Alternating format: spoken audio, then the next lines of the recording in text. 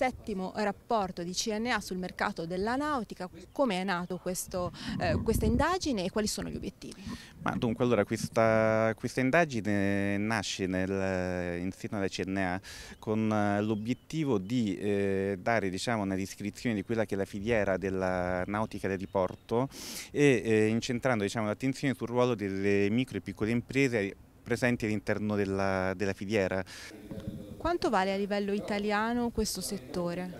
Nel 2018 la nautica da diporto italiana, la produzione, ha sperimentato un incremento di circa 14 punti percentuali.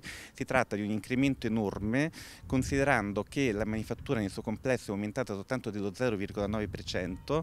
Qual è la situazione dello spezzino a livello eh, nazionale e internazionale? Bah, la situazione dello spezzino, del Golfo della Spezia in particolare, è veramente lo specchio non solo dell'industria italiana, ma vorrei dire dell'industria mondiale.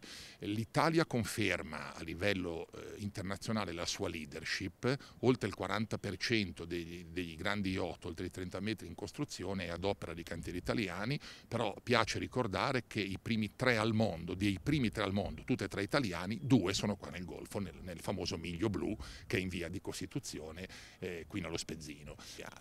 Il secondo elemento di grande importanza che eh, si traduce davvero in una grande prospettiva e una grande opportunità per il Golfo è quello della seconda industria generata dal, da, dalla produzione dei grandi yacht, l'industria del turismo nautico, cosiddetto di eccellenza. Le coste italiane sono le prime come numero di yacht ospitati parliamo di 8.850 toccate, calls, quindi approdi, accosti eh, di, di, singoli yacht per una permanenza media di 4 giorni a ad approdo. Soltanto il valore economico generato da questi approdi supera i 500 milioni di euro in un anno.